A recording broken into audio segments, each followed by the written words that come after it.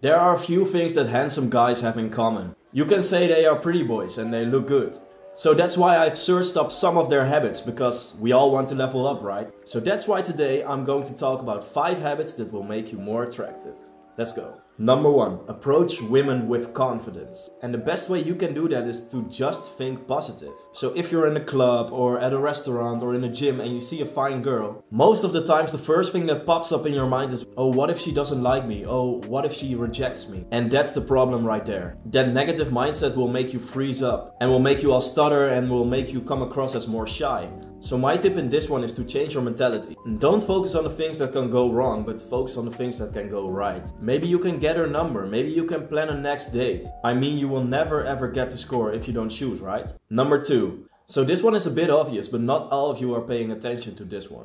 You have to get your grooming and your hygiene on point. I mean, you could be rejecting girls even if you don't know it, because you have oily skin, bad breath, or dirty nails. And let me say this, it is definitely not gay or feminine to take care of yourself and to take care of your grooming. So don't be embarrassed to have chewing gum in your pocket or a little nail scissor when you're on the road, because even such small things women will notice. I can guarantee you that. And if you take care of this, this will make you definitely stand out. The third one, always try to smell good. It's definitely a must that you invest in some colognes or perfumes. And by this I mean do some research on the internet for some different types of perfumes for different occasions. For me, I will always make sure that I have a perfume for every season of the year. When I got those sorted out, I was looking looking for a perfume for clubbing and for going to a restaurant or a business meeting. I'm still upgrading my collection and you should do too. My bonus tip is if you have one perfume that you really really like, then you should buy one of these bottles for on the way. By this you will always be prepared and confident if you see that fine girl walking over there. Number 4, and this is a very important one, but also one that can be hard to get right.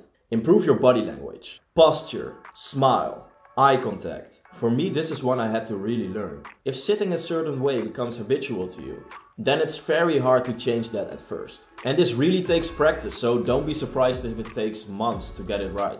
The most important thing about this is that body language says so much about someone's confidence in themselves. My tip for this one is to ask yourself, what would the most perfect confident version of myself do in this conversation? Or in this room? Or how would this person sit? How would this person interact? Would this person be shy and silent? Or would this person be more loud and more noticeable? When you can start to learn to become that person, you will become way more attractive, trust me. And this is not only for women, but you will also gain a lot of respect from there. And the last one, you are not always available. I mean, time is money, right? Time is the most valuable thing we have in our life, so spend it right. That's why you shouldn't always be available. It does not only give you more time to focus on yourself and focus on your grind. It also will show others that time in your presence is valuable. And I swear this will make you way more handsome. So don't always make time for the girl that you really like. It's also very important to work on yourself and get your sexual attraction to skyrocket. So those are five things all attractive men do. I hope you will use these habits to your own advantage to become the best version of yourself.